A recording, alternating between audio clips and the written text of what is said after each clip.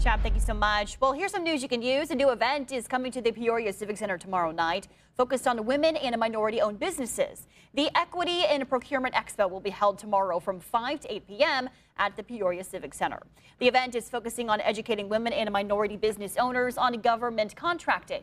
Presentations will be given by Bradley University's Small Business Development Center and the Minority Business Development Center. Peoria Mayor Dr. Rita Ali spoke earlier today about what she hopes to see at the expo. I expect to see a lot of information sharing, a lot of business card sharing, and really uh, relationship building. So I think it's going to be an exciting event. I think it's going to be very interactive. Ali says the goal of the event is to raise the number of women and minority owned businesses in Peoria. She hopes for this to become an annual event.